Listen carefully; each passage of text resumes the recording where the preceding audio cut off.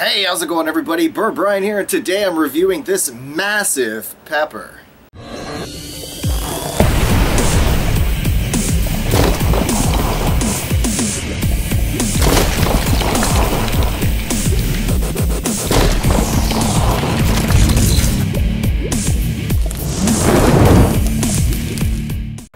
We're taking a look at today was sent to me from Jim Duffy over at Refining Fire Chiles. Now Jim is proud to offer the most exotic selection of seeds, plants, and peppers out there. And he not only has these super hot varieties, but he's also been uh, getting into a lot of these Sweet peppers. and the one we're looking at today is called the elephant ear, and I'll show you the size of this thing. I mean, my hand is is one thing. It is massive. It's a giant, giant pepper, and it's called the elephant ear because of the way it's shaped and how big it is. It's almost like the size. It looks like an elephant ear. Um, but before I talk too much about it, let's go ahead and take a look at the tail of the pod. This large pepper is the elephant ear, which belongs to the Capsicum annuum family. The elephant ear is a rare, large, sweet paprika type pepper from Croatia. Gets its name because the peppers flatten to a shape resembling an elephant ear. These plants produce peppers over 6 inches in length and over 4 inches wide. The fruits ripen from green to red. Interestingly, in Serbia and Croatia, the elephant ear pepper is famously used to make a pepper preserve called Ajvar. Splitting open this massive pepper reveals an incredibly thick wall, and if you look closely you can notice the juiciness just shimmering inside of that moist, yummy pepper. Also, there's a large placenta inside of this pepper, but a rather low seed count. So now that we've all learned a little bit more about the elephant ear pepper, it's time for my favorite part of the video. Let's talk about the aroma and the flavors. Alright, so on the aroma of this thing, it really does kind of have your typical red bell pepper smell to it. At least that's what I'm picking up, but there's just a little something else there, like almost like a pumpkin-like aroma. Maybe that's just me, but it has this strong, pungent kind of, like I say, almost like a pumpkin-like aroma to it. I really can't smell any heat on it at all. Um, but I do want to point out that, you know, when I squeeze this thing open and I look at the insides, you, you could tell it's just a very, very juicy pepper. And I'm really looking forward to seeing what this tastes like. So, go ahead and give it a taste.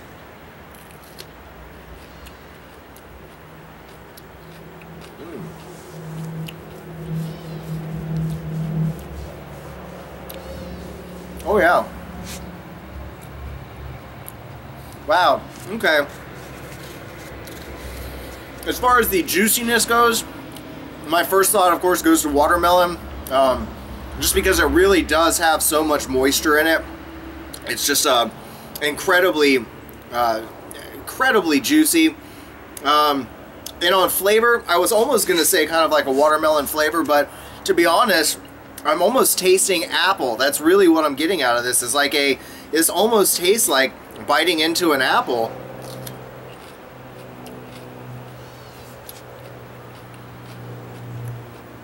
Yeah.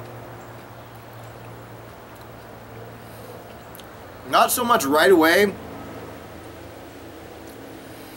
I don't know. It's hard to explain what that first taste is. But once you chomp down on a little bit and you get to the the fibrous part down at the end after you've chewed for a few seconds, it really reminds me of biting into a nice juicy apple. Um, so the flavor on this again is very sweet, very nice. The heat on this is zero. I mean, there is absolutely no heat at all. Um, wow, this is a great tasting pepper. I'm really looking forward to uh, trying this. Now, I have heard that apparently um, there is a sauce being made right now. Uh, it's going to be Tim, pa uh, Tim Bader over at Volcanic Peppers. Uh, he is actually putting out a, a sauce with this soon. You can pre-order some now on his website. So I'll have a link down in the description where you can go and check that out and try to get yourself a bottle of this because this is really a nice, delicious tasting pepper. There are just so many applications you could use this in and, and you could almost even substitute this in as some sort of, uh, you know, I would like to put this in a fruit uh, cocktail um, some sort of mixture. I mean, the, the flavors here go very well with your any kind of really fruit. I mean, it's just got such a nice, sweet, delicious, juicy flavor to it. But man, what a really delicious pepper. Uh, unfortunately, I had a couple that were sent to me, but my post office did a poor job at handling my package, so I lost a couple of them in transit. I've only got this one, uh, and I do plan to do some cooking. I'll tell you, sweet peppers are so good for a wide variety of things. I like a little spice with my Italian food, with my spaghetti, you know, especially peppers and sausage, sausage and peppers. Uh, you know, spaghetti is always one of my favorite dishes, and of course you can throw that in there, but you know, also I'm a big fan on like any of your hoagies, your big giant sandwiches and stuff. Sweet peppers are phenomenal in that. You've got your salads. There's just a wide variety of applications I could see for this. Um, so again, I have to say a big thank you to Jim Duffy for sending these out to me. I really appreciate the opportunity to try some of these sweet peppers. And um, I do have a couple more in the fridge that I'll be looking at over the next few days. I believe tomorrow or the following day I'm going to have a, uh, a guest. A friend of mine is going to actually be joining me in one of these videos. And I kind of wanted to get an outside perspective and have him uh, taste one of these sweet peppers and see what he thinks of them.